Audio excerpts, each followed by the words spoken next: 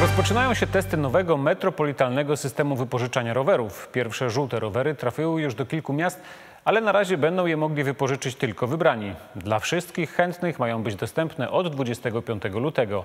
Magda Syncewicz. Ośmiu miastach będzie ich ponad 1200.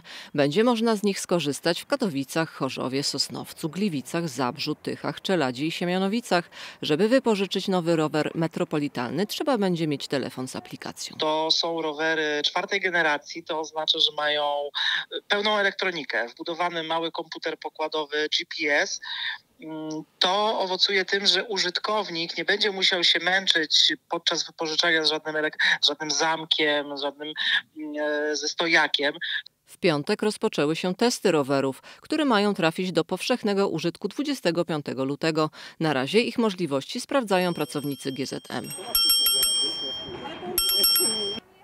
To będzie naprawdę proste. Click and ride. Podchodzimy, skanujemy, odblokowujemy, siadamy na siodełko i możemy cieszyć się przejażdżką. Co więcej, będziemy to mogli robić przez cały rok, podróżując swobodnie między gminami, bo rower nie będzie musiał wrócić do stacji. Łączy się to jednak z dodatkowymi opłatami. To 10 złotych. To pierwszy sezon e, Metro Roweru, to też e, pierwsza faza na początek 8 miast, ale jeszcze w tym roku e, w okolicach e, drugiej połowy września e, rower pojawi się w kolejnych miastach, takich, gdzie do tej pory rowerów miejskich nie było. Na przykład w Rudzie Śląskiej, Bytomiu, Świętochłowicach czy Piekarach Śląskich.